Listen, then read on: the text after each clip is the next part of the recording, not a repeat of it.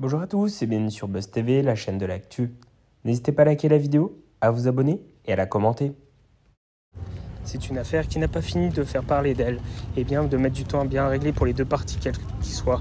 D'un côté les enfants d'Alain Delon, Anthony Anouka et Alain Fermier Delon, qui ont déposé plainte commune l'accusant de maltraitance.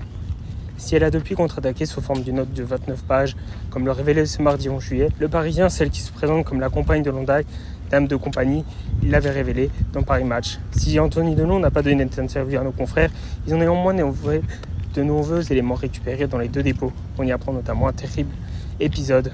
Il remis le 2 janvier, serait rendu à Paris. Elle n'aurait pas réussi à rejoindre une infirmière ou une garde malade, et c'est là que les choses auraient mal tourné. Son nos confrères l'aurait confié à l'un de Delon la journée une garderie pour chiens et chats et être laissé seul ne semblant pas être totalement inhabituel pour l'immense acteur puisque découvrir par la suite qui serait déjà arrivé. Merci à tous d'avoir regardé la vidéo, n'hésitez pas à la liker, à vous abonner et à la commenter.